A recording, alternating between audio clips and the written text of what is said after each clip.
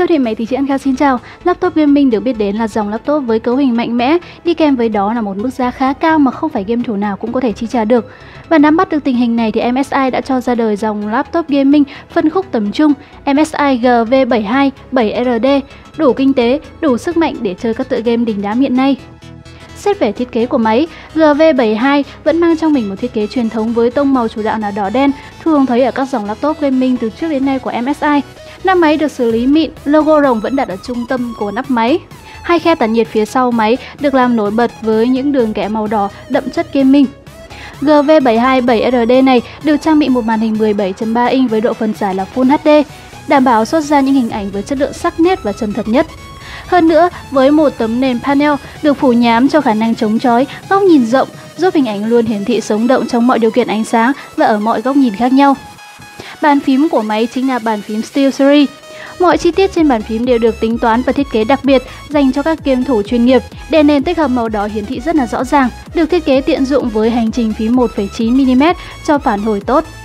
Máy cũng được trang bị đầy đủ các cổng kết nối, bao gồm một cổng USB 3.0 Type-C, hai cổng USB 3.0 Type-A, một cổng USB 2.0, một cổng HDMI, một cổng DisplayPort, một khe đọc thẻ nhớ máy ảnh và một jack cắm tai nghe. Xét về cấu hình của máy thì sao?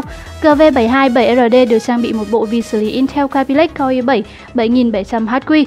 Cùng với đó là các đồ họa Nvidia GeForce GTX 1050 đem đến một hiệu suất mạnh mẽ, có thể xử lý tốt hầu hết các tựa game và các ứng dụng đòi hỏi khả năng đồ họa cao. Đi kèm theo đó là một RAM 8GB DDR4 với hiệu suất hoạt động mạnh nhanh hơn tới 40% so với thế hệ trước đó là DDR3. Ổ cứng HDD 1TB tích hợp thêm một ổ lưu trữ SSD M2 với chuẩn băng thông mới nhất. Với cấu hình như vậy thì MSI GV727RD thực sự là một chuẩn máy tính sách tay mới, đem lại cho bạn trải nghiệm game cao cấp mà những dòng laptop gaming cùng tầm giá khác không làm được. Hệ thống tản nhiệt luôn là một yếu tố cực kỳ quan trọng trên bất kỳ một chiếc laptop gaming nào hiện nay. Với công nghệ Cooler Boost 4 độc quyền của MSI, khi nhấn nút tăng tốc độ quạt thì tổng cộng là 6 ống nhiệt cùng với hai quạt sẽ hoạt động hết công suất để đẩy nhiệt ra khỏi hệ thống, làm cho mà nhiệt độ của máy luôn duy trì ở mức thấp nhất có thể.